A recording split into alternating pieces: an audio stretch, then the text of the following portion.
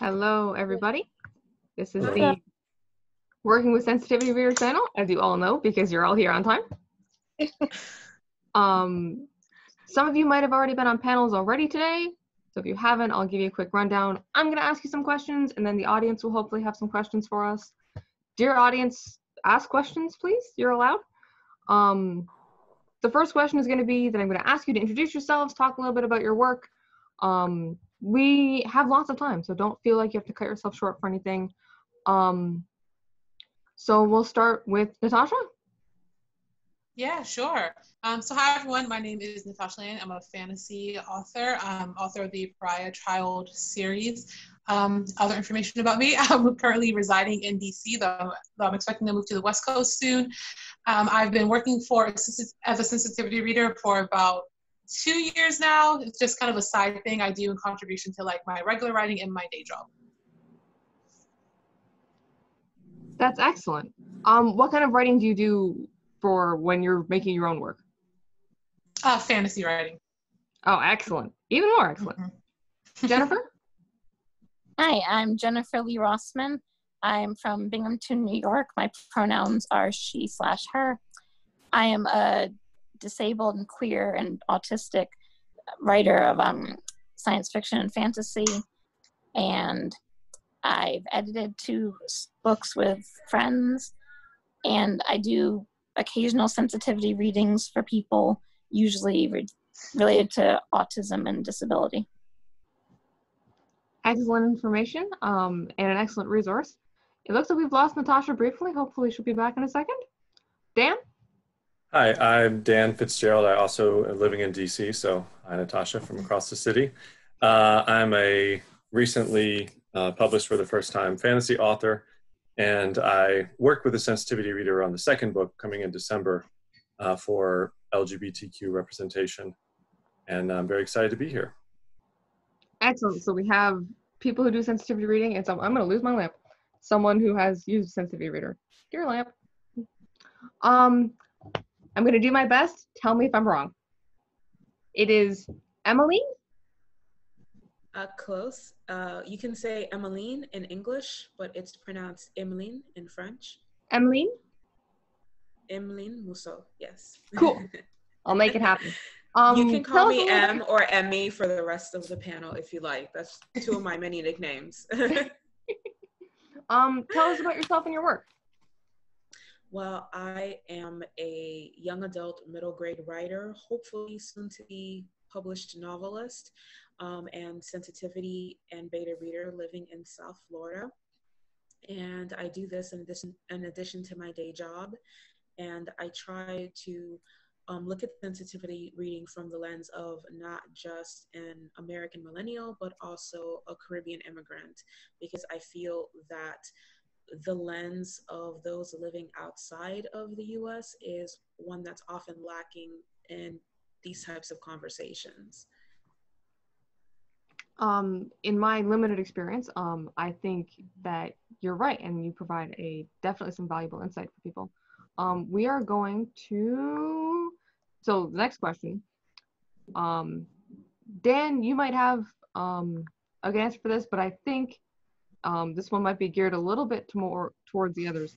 How do you tell um, whether it's your work or someone else's work? How do you know when you need a sensitivity reader? What should authors be looking out for that tells them they should seek out these services? Um, Jennifer, did you want to go first? Okay. Um, if you're writing from a perspective that is not anywhere near your own or about characters that are very different from you who often get stereotyped. Um, it can be helpful then to think is there a way that I'm interpreting their life that is based only on TV or movies instead of lived experience? Like, I would not write about someone with a completely different disability and expect to get it correct. But yes. I don't know where i was going with that. I'm sorry. No that's fine.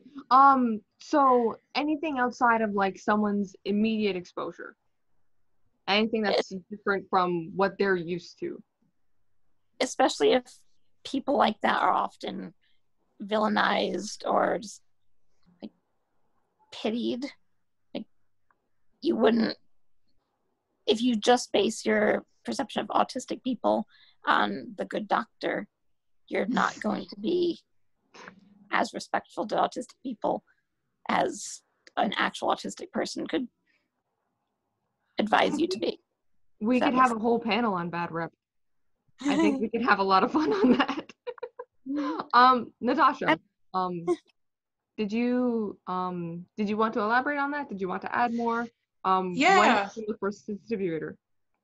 Mm, yeah. So I think that I mean there are many re- there are many reasons to have a sensitivity sensitivity reader. I think for a lot of authors it kind of comes into three main reasons. One being if you have a cast a cast of characters who uh, do have a very li- different um, lived experience than you, then you probably need a sensitivity reader. Um, another one is if you're writing characters um, characters of a different background than you, but you're writing them in POV, so they're going to have like chapters or sections of the of the manuscript from their perspective. You really need you really need a, sens- a sensitivity reader. And the third one is usually if you are touching on a very sensitive subject. This happens, I think, a lot in historical fiction. Um, when you are touching on things like maybe like the civil rights movement, you're doing some sort of fantastical retelling of that, or if you're touching on um, very historic, very uh, what's the word I'm looking for here? Very painful moments or memories in certain communities' histories.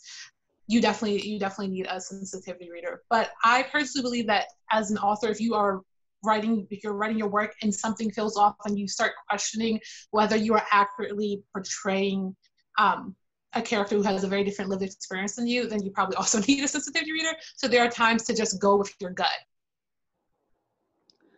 there's a lot of interesting facets that you brought up. Um, not just that if something feels weird, it probably is weird, um, but also specifically when dealing with like historical fiction and things like that.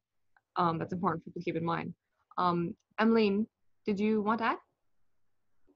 Uh, yes, actually. Um, I this might be an extreme point of view, but I think that unless what you're writing is a memoir, you need a sensitivity reader. Period. um, unless you're writing about your life, you need a sensitivity reader. Um, I think I think a lot of us, you know, as Natasha said, we we are aware that we have some, for lack of a better term, blind spots when it comes to sensitivity, and something could feel off.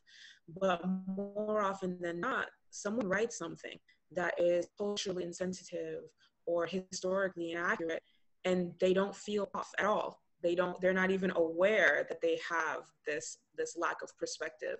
And i think that unless you're writing about yourself and your life and your personal experiences from your own point of view there's there's just no way that you can get it correctly.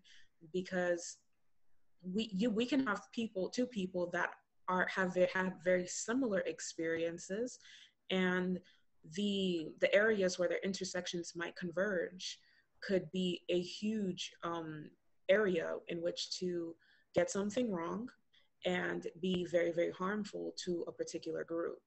So, yeah, unless it's about you and all about you, get a sensitivity reader. Sorry.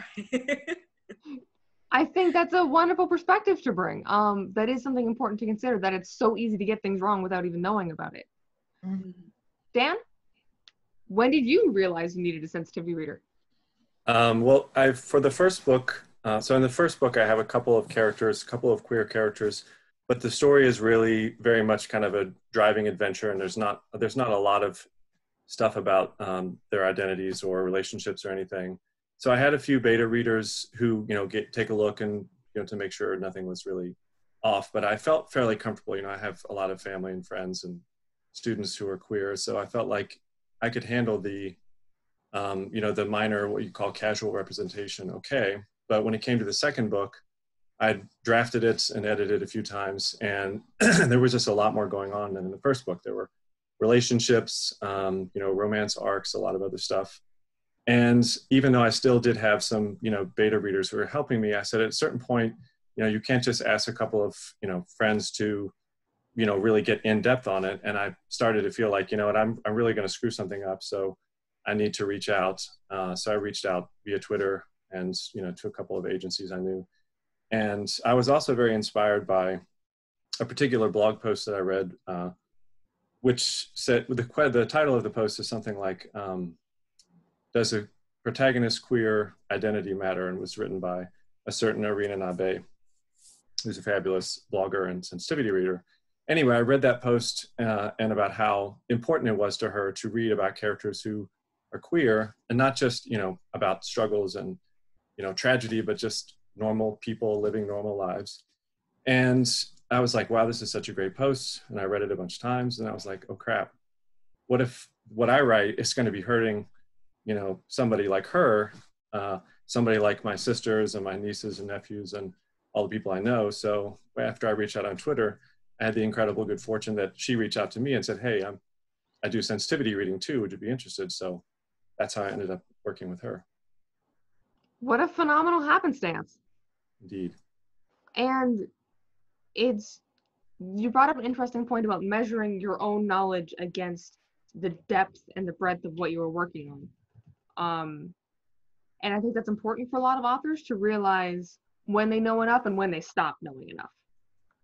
Um, so the next question, um, how do you find a sensitivity reader? Um, I've worked with other authors before, um, and I've suggested sensitivity services. Um, where does an interested person find one? Dan mentioned reaching out on Twitter, um, but if you don't have the right connections, it can be hard to be heard. Um, so, Natasha, did you want to start? Um, sure. Um, so I agree with Daniel about reaching out on Twitter because if memory serves me correctly, I even have sensitivity reader in my like Twitter bio. So if you search it, like me and other people have in our bio, it would it would appear. Um, I also would recommend using any network connect any connections you have. So, for example, me when I got into the writing industry, I started by going to like a lot of conventions and you build up connections that way. And so like one author worked with a sensitivity reader and so they'll recommend that reader to you and things like that. Additionally, there is, I cannot remember their name now, but there are smaller like sensitivity reader groups online or smaller like, organizations that they offer a lot of different writing services. I, I really wish I could remember this one group's name, but I can't. they offer like editing and proofreading services, but then they also offer sensitivity reading. So I would recommend trying to follow groups like that on Twitter, Instagram, uh, Twitter, Instagram, or wherever. Um, I also think this isn't. Maybe you all can actually tell me about this. I don't think this is as common with traditional with bigger traditionally pub, uh, traditional publishing houses but i know that i or i hope to believe that some publishing houses have a list of sensitivity readers on kind of back call when they when they need them so maybe looking at some publishing houses too to see who they have worked with and kind of going from there uh, those sound like some excellent resources. I don't have an answer for you about the publishing houses, but maybe someone else, maybe someone in the audience or someone here in the panel will be able to give us an answer. Um, Dan, you said you found your uh, sensitivity reader on Twitter, but did you look other places? Uh, are you? No, uh, no. For me, Twitter is kind of the beginning of end end of uh, writing. well, it's true. I mean, because no matter what you want to know, you're going to find somebody there. So I already was in contact. So I know of two pretty well-known and respected uh, entities that uh, that do sensitivity reading. Um, one is Salt and Sage, another is Quiet House, and several people recommended one or the other. Um, and I, I see them both on Twitter sometimes. But in addition, when I put out the call, a whole bunch of people reached out, and the problem was, frankly, that there were too many incredibly qualified people who reached out and said, you know, because I had put a whole list of, you know, what representation was in the book, and you know, so many people reached out, and I, it was an embarrassment of riches. I just, I, I had a hard time choosing until Irina reached out, and the person who made me feel like I wanted to get a sensitivity to begin with, you know, the discussion was over but I had to tell like two or three incredibly qualified, excellent, thoughtful people, you know, sorry, no. That really is the hard part when you know, like, you have so many excellent people that you could work with, and you really only can work with one or at least one at a time. Um, and you gave us some good names for people to look up, which is great. Um, M? Well, I'm my really good friend Google.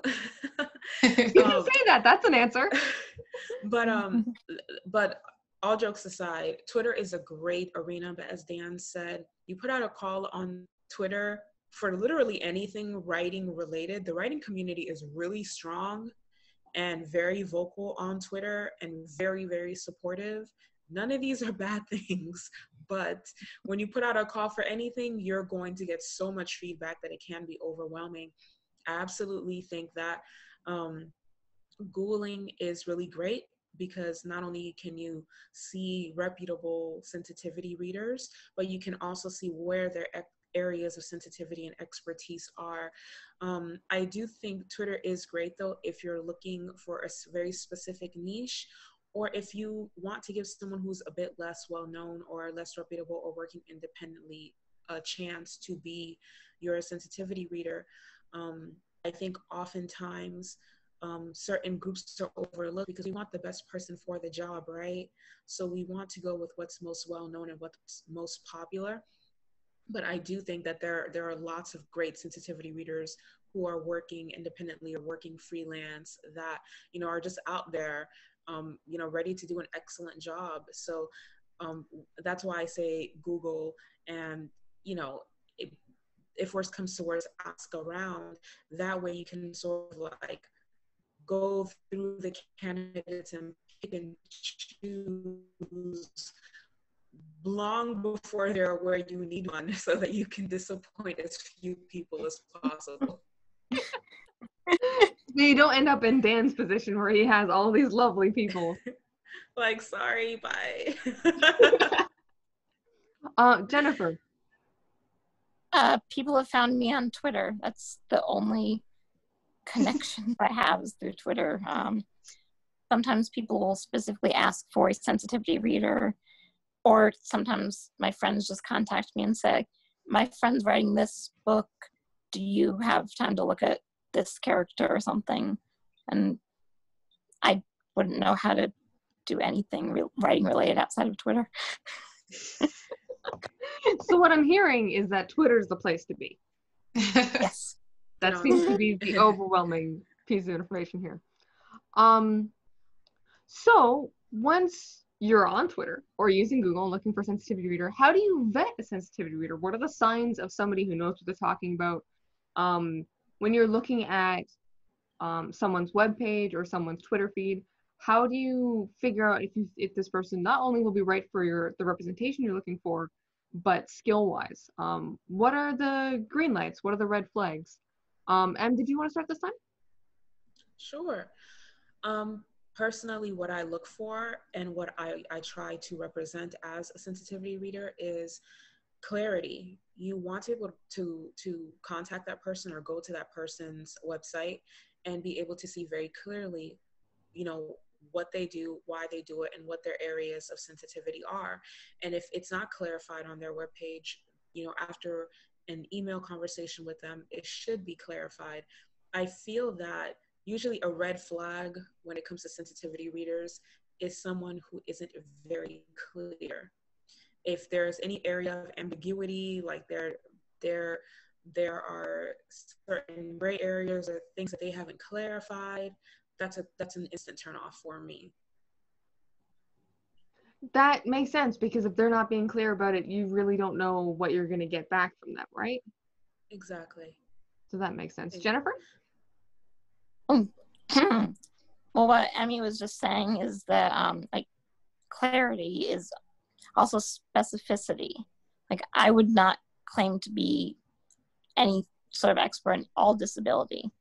I can tell you, hey, that sounds like something that could insult people with this disability, but I would specify like I am disabled, but I have spinal muscular atrophy. I use a wheelchair. I can refer you to someone else for this part, but I am not the person to ask. That they don't claim to be the answer for everything. If they admit they don't know things, it seems like that helps. That makes sense to me because we, as we discussed before, as writers, we can only really cover our own experiences, right? Mm-hmm. Right. And even the same two people with my same disability will have different um, experiences with it, different levels of severity or the way it affects their life. So saying that this is only my opinion instead of this is the answer. And M, you brought that up a little bit earlier regarding um, where people's experiences intersect and how they can have different answers to the same question because of it. Um, right. It wasn't until I got on Twitter actually that specifically where disability is concerned that, you know, as a Black woman and an immigrant, I think about intersections very, very um, often. But it had honestly never crossed my mind that the experiences of um, you know, people of color who are disabled versus white people who are disabled might be different. And that race plays a huge factor in even that one small thing. So, again, the thing that you don't know that you don't know, as I brought up earlier, you don't even know that this is a huge blind spot. But thinking about these things, and as Jennifer said, admitting that you don't know something, you might have an inkling, um, or you might just not know altogether, and telling that person, hey, I may not be the best person for this job or this portion of the work. And that level of transparency, I think, is a mark of a good sensitivity reader. That is excellent to consider. Dan, what made you realize that you were working with a great sensitivity reader? Because you say she's awesome. So tell us all about her and why she is. Yes. Um, well, I think the first thing is from the moment that I first got the email, you know, so she said, Hey, would you want to work together? We back and forth a little bit. I described what what the book was about and what my concerns were, what my thoughts were. But she put me at ease immediately. And obviously, the, it's not that, you know, the main job is not to put you at ease, but if as a writer you don't feel comfortable, you know, showing your ignorance and vulnerability about certain things, then you're not going to have a productive relationship. So, as a sensitivity reader, you know, one of the people that reached out to me who was super qualified did not put me at ease, sort of made me feel, you know, belittled and maybe a little bit stupid. And so I, I, didn't feel like I wanted to work with that person just because their tone came off as very authoritative. And, and obviously, you want sensitivity to be authoritative, but you also have to have a good working relationship. And so, you know, feeling comfortable with the way the communication happens is part of it. And also, as was mentioned before, that the specificity is key. So, you know, uh, she's able to say, like, you know, these are the particular things I have knowledge of and other areas that might be tangential you know she's she can say i can give you some suggestions but you know knowing that there are certain areas that that she has you know direct experience of and her willingness to say you know this other area i don't have direct experience of but you know here's my take um, those are things that made a big difference. And also just the way that that she writes i feel like uh, you read someone's writing and you can tell about the way they think. And so I, I knew from having read her, you know, her blog posts, a, a number of other blog posts too, that that I liked the way she thought and that there's some similarities there. So those are the main things for me. You want to be able to be wrong. Um, yeah, right? actually, yeah, I want to add something. Um, I listened to a podcast last year um, about what you should know going into working with sensitivity reader, and the biggest takeaway was be prepared to be wrong about some stuff and don't like don't get all offended when you realize you're wrong and you were ignorant and there's something you didn't know. Like that's a normal part of the human condition. That's part of writing. And so going into it thinking i'm going to be wrong about some stuff. I'm going to have gotten some things wrong. And I, that's okay. I'm just going to work to fix them. That's why we're here. It's nothing to panic about. You know it's part of the process. That's why the process exists. Which is excellent advice for anyone using sensitivity reader but as you mentioned, the sensitivity reader giving you that space to be wrong without it being insulting is probably kind of a huge deal too. Um, Natasha. Yeah, sure. So just re-echoing a lot of what has already been said um, about a sensitivity reader admitting when like this this part of the novel or this perspective I can't fulfill. For me, for example, um, obviously I'm a black woman, so a lot of sensitivity reading I do is about being a black woman or being um, an African American. That being said, I don't think that I could do a proper sensitivity reading if it focused on a black character who was like raised by white parents, for example, because that's not my experience. Just to um, kind of reiterate what everyone has been saying. I also kind of just general. I, I like reading testimonials and reviews um, on a on a sensitivity readers platform. This is some advice that I need to take because I only have a few reviews, but I should put more. But you know, take my own advice later. So reading testimonials and reviews and everything like that. I would also look at their process. I know a lot of um, editors and like book reviewers do this where they have a page on their website dedicated to just explain how their process works. If they read it once or do they read it twice? And if they are going to give you a if they are going to give um, an author more of a yes, yes, you, I think you should do this. No, I don't think you should do that. that's not that's may not be the best idea. Or are they also going to add some context to it? Is it going to actually be a learning moment you know? Um, for me i just finished a sensitivity reading with an author who actually have a call scheduled for i think next week sometime. But i finished a sensitivity reading with her and it was a case where kind of what has been said here very sweet woman. She has actually worked a lot in the in um, black and brown communities but the book she wrote, it just it had a lot of issues, like things that I don't think, like I'm very certain she was not thinking about when she when she um, wrote them. But when I would leave comments in her manuscript, I really tried to say, this is why it's not. like this is why this isn't the best um, option in my opinion. And I also offer the opportunity, like if you want to get on the phone and we can talk it out a bit more, so nothing is misconstrued and I'm very clear, we can do that. So yeah. You bring up an important point, like it's not just that people don't know, but people don't have the context to understand. You can mm-hmm. tell someone that something doesn't work or that something might be hurtful, um, but is the sensitivity reader willing to go the extra mile and explain why? Um, and mm-hmm. you said to look like on their page where they explain their process if they have one, and maybe there'll be some information there about that. We're just about at the halfway point, and someone has asked a question um, that ties in with a question that I was going to ask. Um, so this is um, Arena, I think it is. Um, please forgive me if I'm butchering your name. Um, one of the things that she asked, there's actually two kind of questions in here. When you're writing outside your own identity, how do you manage financial restrictions when hiring a sensitivity reader? Um, and one of my questions was, um, how does budgeting work when you're hiring a sensitivity reader? Um, do you charge per page? Do you charge per chapter? Do you charge per word? Um, can you give us some insight onto how those things work um, so that people can be prepared when they're approaching other sensitivity readers with work? Um, Dan, we haven't picked on you first yet. Do you want to tell us how the process works for you? Uh, well, my experience is that every sensitivity reader has different, you know, different rates, and they're usually pretty clear. It's you know by the word or by the whatever. And a lot of them also will say, you know, I'll work, you know, I'll, I'll be willing to work with your budget. A lot of sensitivity readers are are sensitive to the fact that not everybody has the same privilege. So like, you know, I'm in a fairly comfortable situation. So hiring a sensitivity reader would not be, you know, a major financial setback. But if you're a writer who's, you know, who's, you know, barely struggling, you know, struggling to get by, then that would be challenging. And I will say that I saw a lot of references to, you know, I'm willing to work within your budget uh, on a lot of the pages of sensitivity readers I looked into.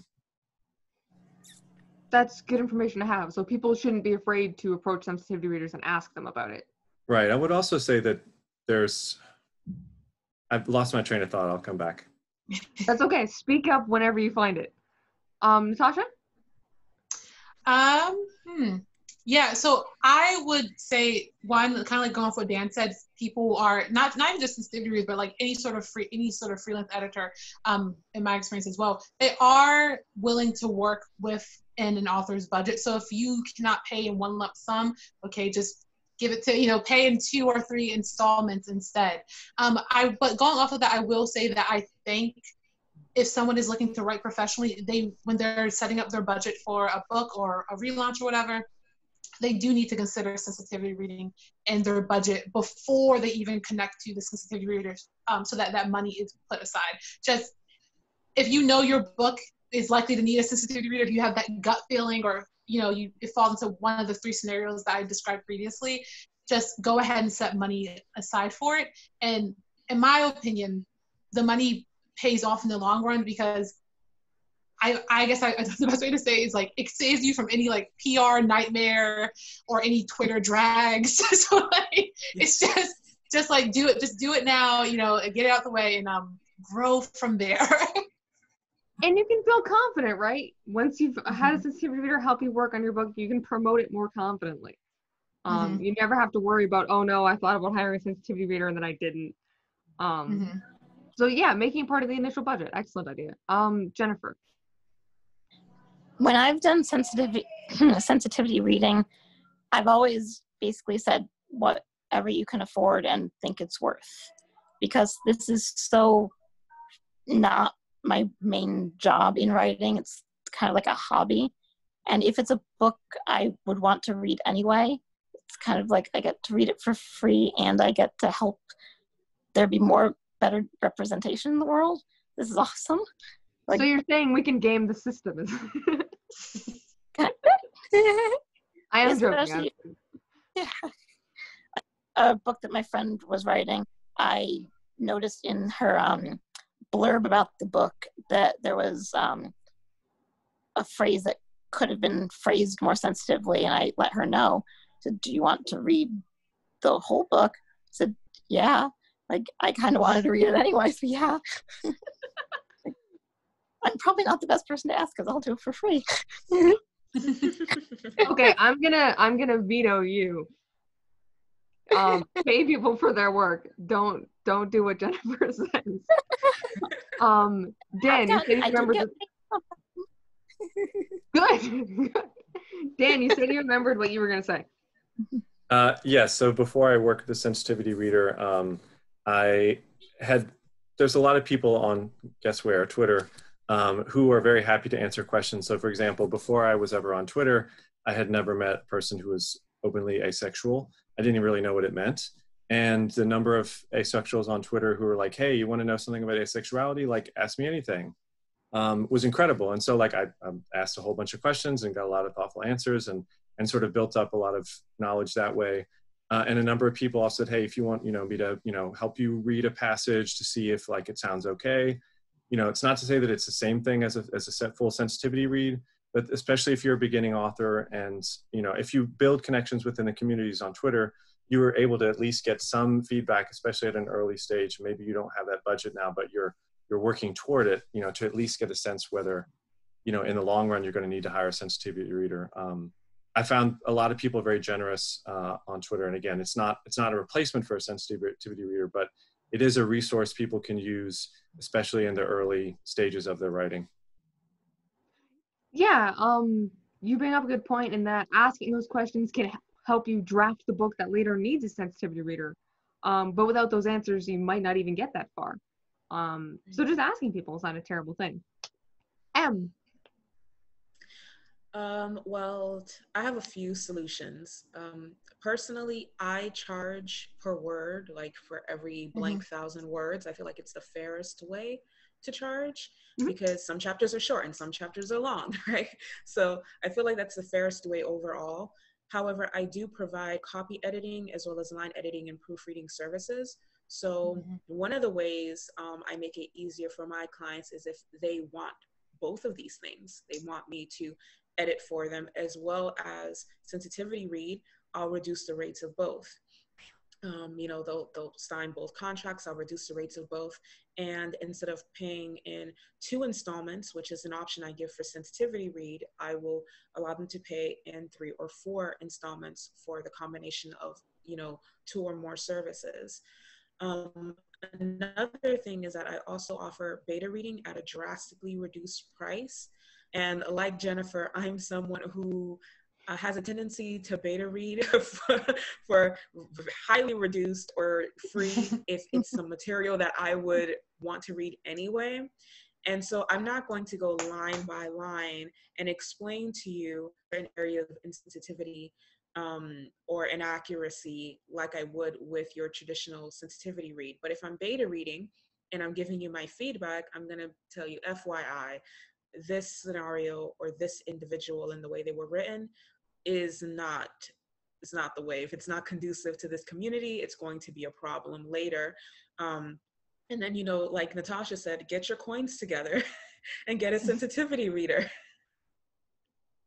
Um, beta reading, you mentioned specifically, um, if somebody's on the fence about needing one and they're not quite sure if they want to commit the coin, um, get a beta reader, find out their um their feelings on it. If somebody else tells you to get one, you should probably get one. Absolutely. And, you know, with beta reading, uh, you know, a lot of people kind of frown on folks doing beta reading for free. Personally, I charge on my site. However, um, what what authors have to understand is there are a lot of people who just read voraciously and love to read.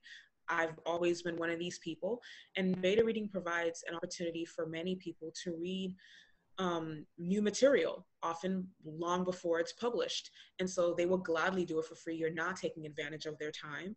And if you can find someone who reads and reads a variety of literature, um, and they want to be your beta reader and they can do it for free or reduced rate, take advantage of that if you are on the fence about getting a sensitivity read. Um, as someone who also does beta reading and editing services, I cannot agree more. Um, if I um, like the author and their work, uh, I will make time. um, so you are the farthest thing from wrong. Um, the other half of Irina's question was um, that sometimes there are a myriad of experiences within a single identity. Mm-hmm. Um, when you're working with someone whose experiences intersect, um, what are your, um, what would you suggest to someone writing a character like this who maybe can't find a beta reader who's an exact match? Um, well, who better not pick them first? Natasha, let's go first. Okay, sure. So you're um just to make sure I understand. So your question is if you have a character who's like intersects in various communities, um, how do you pick which sort of sensitivity reader or beta reader um, or reader from that community to um, approach? Is that your question? Yeah. Um, how do you balance that? Who do you talk to? Like, do you go to multiple sensitivity readers? Do you try to find a closest match? What do you think? Mm-hmm. Um, so I would first suggest trying to find the closest quality match, right? Because you do want a sensitivity reader who's going to give you good feedback. That being said, I understand that it can be difficult to get someone who exactly matches. Um, if you have a character, for example, who's like Mus- uh, who's a believer believer in Islam, and they're also dis- disabled, but they're also a member of the LGBTQ.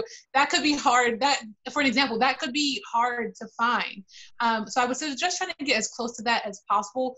My other piece of advice would be, what aspect of the character's identity is going to be at is going to be at the forefront the most in the story, um, or is the character more accepting of their sexuality, but confused about their religion? If so, then you probably need to focus on the religious aspect more. Is the character going to be um, the only character of its of its of his or her racial background um, in the text? If so, you might want to focus on that more. So get a sensitivity reader from that community. So that's how I would do that. But I also understand that that can be difficult. But it definitely sounds like a good place to start by parsing out what are the most important pieces that affect the work. I think that's great Mhm. advice. Jennifer? I would do what Natasha said, but also um, for the other identities that you don't have a sensitivity reader for, you just ask questions of people with that identity to make sure you're not overlooking anything in those areas too. That's true. Just because you're not hiring a person to do it doesn't absolve you from doing research. Mm-hmm. That's an excellent point. Em? Yeah, I agree with both Natasha and Jennifer. And piggybacking on Jennifer's point, I see that oftentimes um, with authors um, or writers, and I'm not exempt from this either, often the areas where they will be the most culturally insensitive or historically inaccurate are the areas where they are projecting upon a community rather than researching and learning so yeah if you do if you do study and you do research you're much less likely to make a mistake. I would also say you know as natasha said get your best quality match a person that comes closest to having all of those identities in their um, specific list of sensitivity topics. However if you can't find that and you can't afford more than one or maybe two sensitivity readers i think the next best option is to put out a call for beta readers from the other communities because um, beta readers from that from those other groups will inevitably tell you if you're messing up Mm-hmm.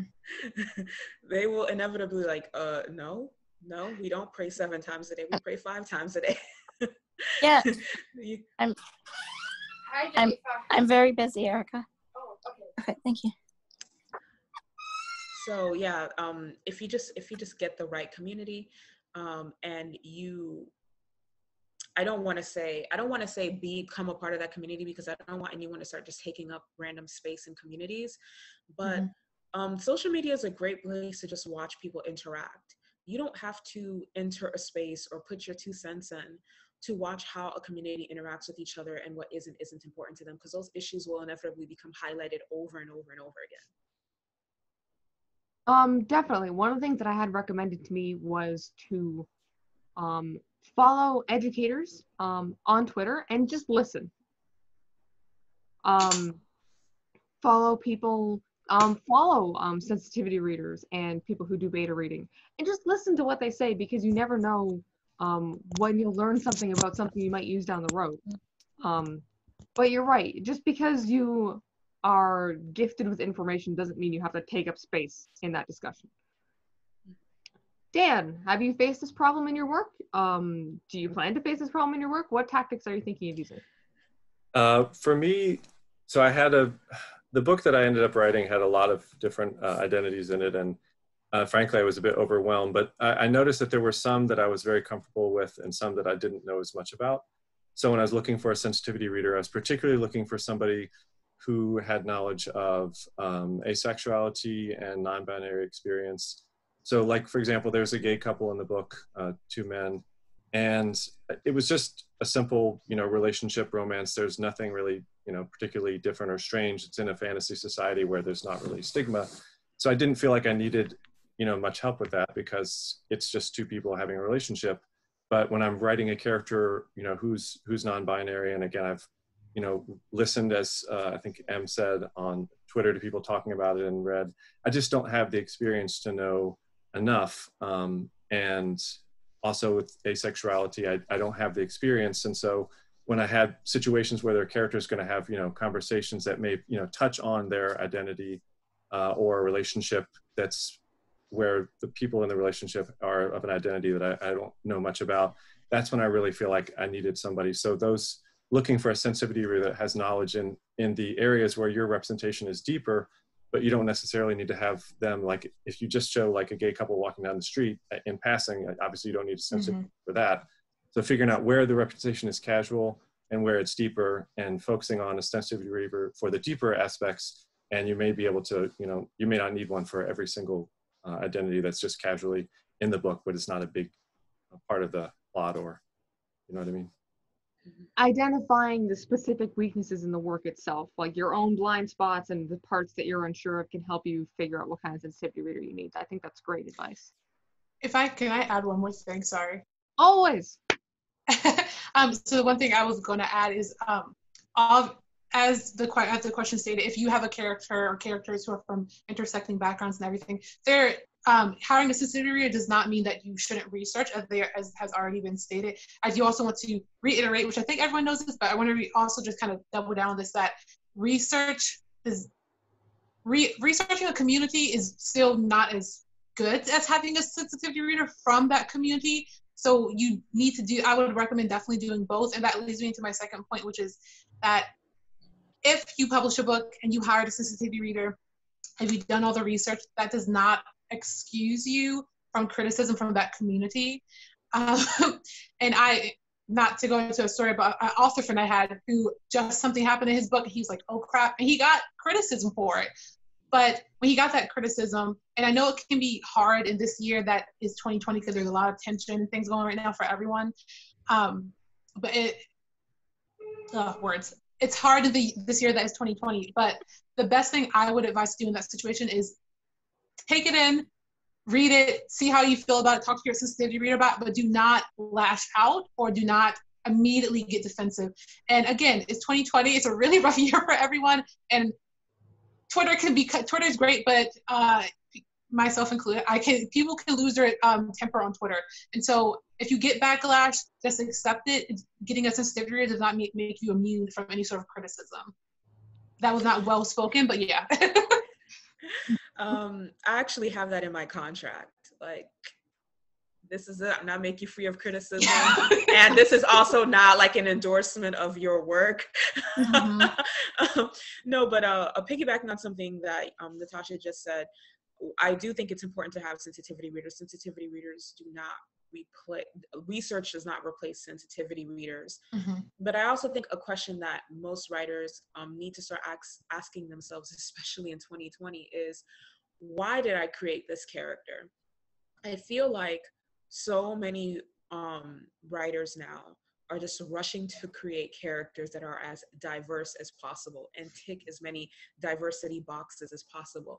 I'm gonna make him like Orthodox Jew and gay and disabled and like he's adopted and his biological parents are Arab he's being raised in the Caribbean.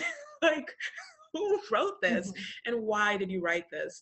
You know, it's one thing to to want your work to represent people out in the world. It's another thing altogether to want to give yourself diversity pats on the back or ally cookies for mm-hmm. including certain groups in your work. They're perfectly fine authors who to this day their work still holds up who've only ever written about people that they are or people that they have encountered in their lives you know? And there's nothing wrong with that. Um, there's nothing wrong with having work that doesn't necessarily include every single community that exists.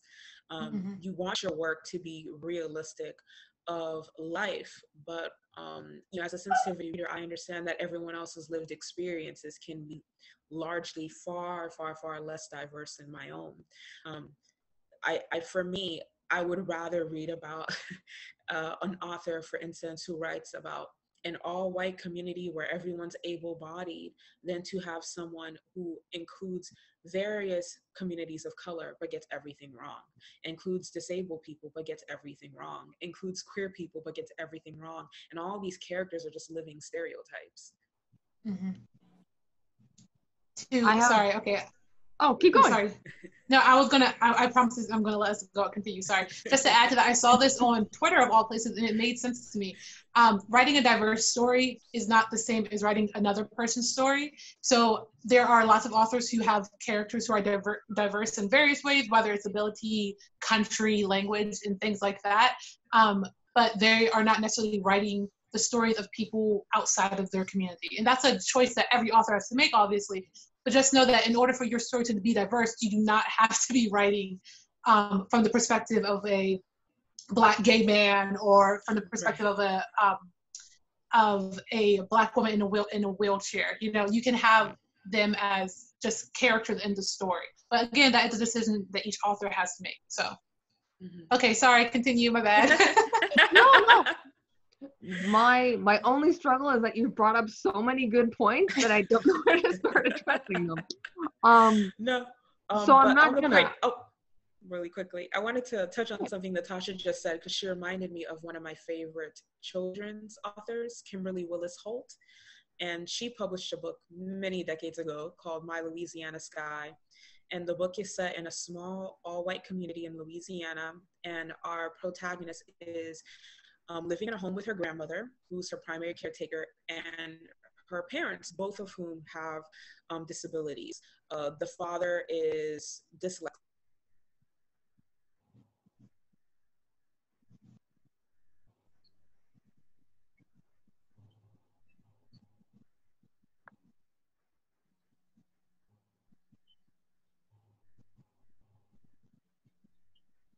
Yeah, uh, I think Emmy, I think Can you disappeared. Can you hear me now? You have returned. Yes.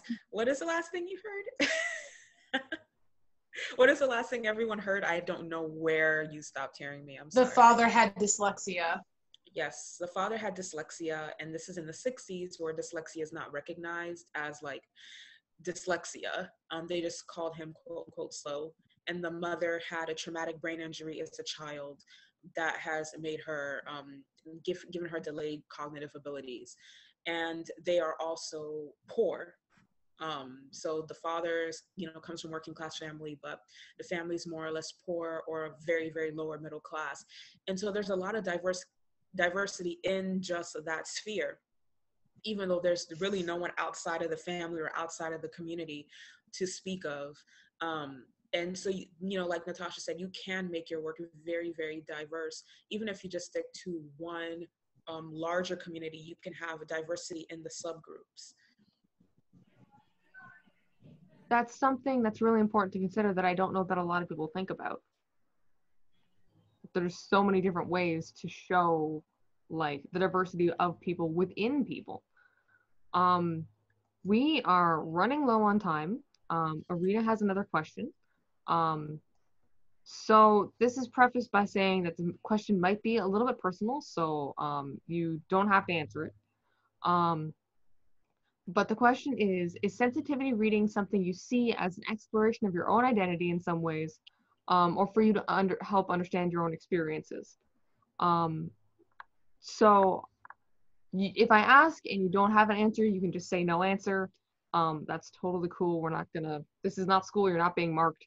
Um, Dan, you're kind of disqualified from this one. he doesn't seem super heartbroken about it. um, Jennifer, did you want? I don't think I have a good answer for it because I don't really see it that way. I just see it as trying to help not, you know, perpetuate stereotypes and harmful representation. That's why I do it. That's still a perfectly good answer. That answers the question fine. Um, uh, M, did you want to? Did you have a, a response to it? Yes. Um, in my case, I absolutely see sensitivity reading as an you know exploring my own identities, because it's like we said earlier. You know, the writers don't know everything, but sensitivity readers don't either. Even the areas or the topics that are are areas of expertise, so to speak. Um, I feel like an identity is not a stagnant thing. You're always growing and you're always learning in your identity. And sometimes, even when I'm looking at someone else's work and I'm seeing areas of insensitivity, I'm also seeing my own personal bias. Um, just because I'm a Black woman, or just because I'm an immigrant, or just because I'm, you know, someone who deals with mental illness, doesn't mean that I'm immune from um, classism or various other forms of respectability politics. Um, mm-hmm. It does not make me immune from any type of elitism. Uh, it doesn't make me immune potentially from xenophobia. You know, um, just because you're a part of the queer community doesn't mean that you don't have isms towards other members of that community, right? So mm-hmm. I feel like sometimes when you're sensitivity reading, it can be a mirror to yourself about areas that where you have um, subconscious or unconscious biases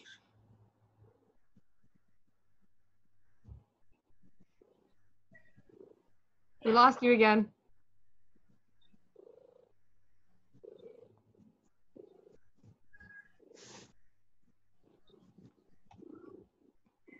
I'm wrong. What are my blind spots?